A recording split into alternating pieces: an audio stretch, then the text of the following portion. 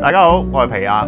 嗱喺二零一二年嘅時候咧，丹麦嘅性格演員麥斯米基辛就憑住無望嘅冷面演出，贏咗當年嘅康城影展影帝殊榮。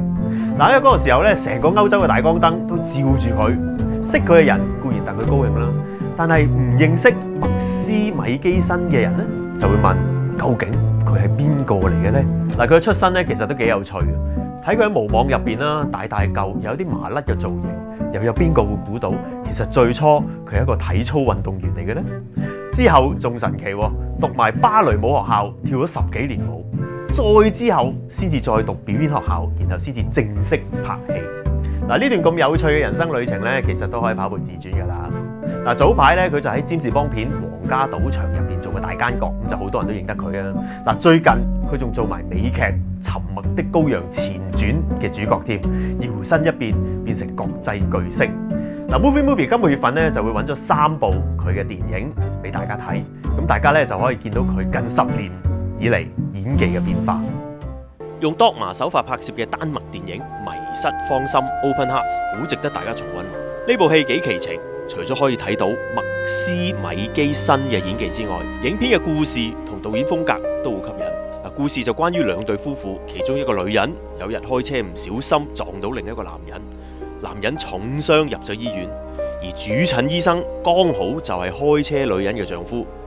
但系故事嘅焦点慢慢就开始转移。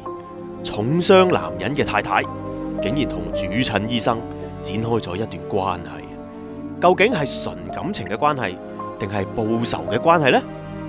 呢部戲由愛有新世界嘅金像女導演 Susanne Bier 拍摄，簡約又注重內心嘅手法，喺丹麥都有幾高嘅評價嘅。呢部戲冇喺香港正式上映過，但係 Movie Movie 就有得睇，大家要留意啦。喺柏林影展贏咗最佳編劇丹麥電影《皇家風流史》，係麥斯米基森另一部近期有份主演嘅戲。